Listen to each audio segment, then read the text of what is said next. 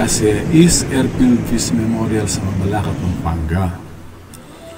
Sa lugar na ito, ang sentro ng unang kamikaze airfield noong World War II. October 20, 1944, nang itinatag ni Vice Admiral Takehiro Onishi ang kamikaze sa Mabalacat. Ang mga naunang pilotong Hapon na nag-volunteer dito ay binuo lamang ng 23 katao na nagmula sa 201st Air Fleet Imperial Nippon Naval Air Force sa ilalim ni Captain Sakae Yamamoto na nakatalaga sa Mabalacat noon. Ang unang kamikaze group ay tinawag na Shinpo Special Attack sa ilalim ni Lieutenant Yukiho Seki ang pangkat ay nahati sa apat na unit o bahagi.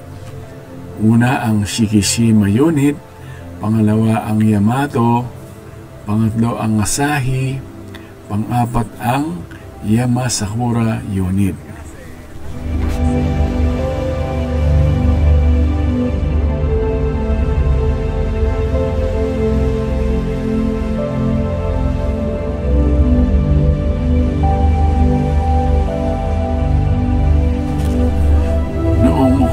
October 25, ang Shikishima unit ay lumipad galing Mabalacat Airfield sa pangunguna ni Lieutenant Yakiho Seki. Ang kanyang mga tauhan noon ay sina Sergeant Iwaho Nakano, Sergeant Nabutami, First Class Ajime Nagamine at second class Shigeho Oguro. Sa nasabing petsa, sila ay nakarating malapit sa Gulf of Leyte at matagumpay nilang naisagawa ang pasabugin ang mga barko ng kalaban. Ang unang tinamaan noon ay ang USS Carrier St. Lo sa eroplanong dala ni Lieutenant Seki at lumubog ang barko ng Amerika pagkalipas lamang ng 20 minutos.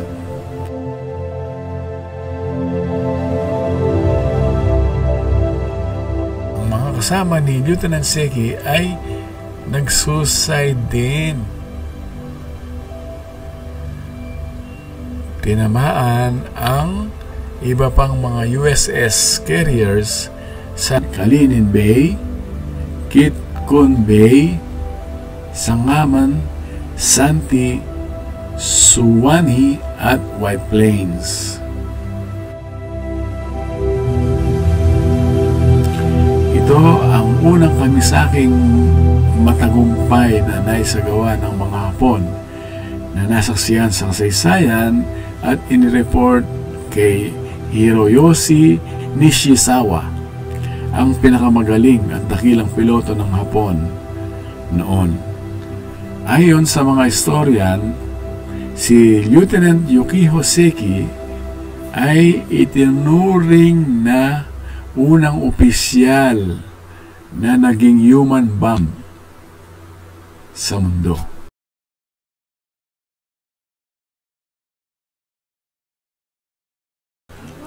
Ang kamikaze ay itinuturing ng mga Japanese military aviators na sagrado. Pwede nating sabihing 1000% silang patriotic dahil nagsasagawa sila ng suicide bombing attack niya alay ang buhay para sa Imperial Japan. Alam ng piloto na kasama siyang sasabog sa mga target nilang barko ng Amerika at kanyang Allied Forces Specials noong World War II. Tinawag ito ng mga Hapon na Divine Wind Special Attack Unit.